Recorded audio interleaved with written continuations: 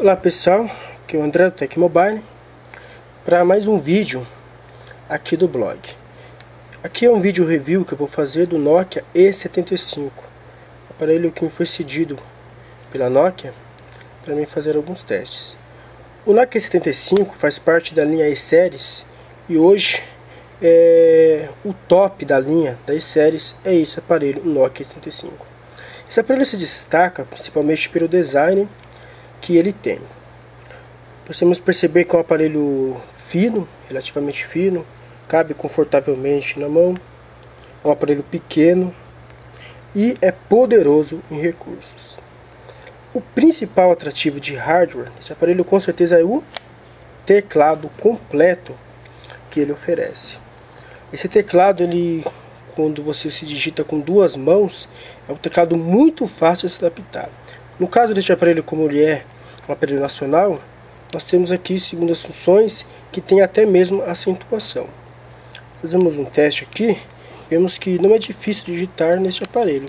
Rapidamente você consegue se adaptar a ele. Agora, para comparando com E com o E71, com certeza que é a grande comparação que as pessoas estão interessadas, com duas mãos ele é bem mais prático de digitar, bem mais rápido que o E71. Porém, com uma mão ainda é imbatível a rapidez na digitação com o E71, porque nesse aparelho é muito difícil digitar com duas mãos. Seria uma tarefa muito difícil usar ele com uma mão.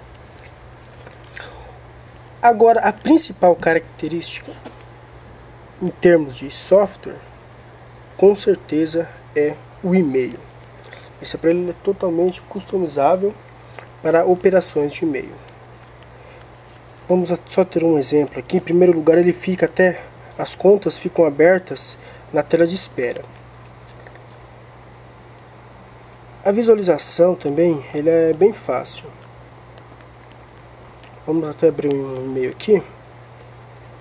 Que dá perfeitamente para fazer a leitura dentro do próprio aparelho. A configuração, então, é um dos fatores mais fáceis. Em apenas alguns passos, você consegue configurar. Primeiro você entra com seu endereço de e-mail, depois o tipo, IMAP ou POP. Depois você entra com o endereço de entrada e saída pronto. Já está configurado o e-mail. Falando da tela de espera, ele tem uma opção até que interessante aqui, que é um modo. Ele existe dois modos, modo pessoal, que eu vou até mudar aqui, que ele muda o tema e a tela de espera. No modo pessoal, ele tira os principais aplicativos para trabalho, tanto na sidebar como na tela de espera, como e-mail, agenda, etc. E deixa algumas, alguns aplicativos para uso pessoal. Já se alternar para o modo de trabalho, fica o que? As telas de espera, com o e-mail, agenda, com em cima o GPS, as notas, tanto notas escritas como notas faladas, etc. Em termos de velocidade, o aparelho ele tem um bom desempenho.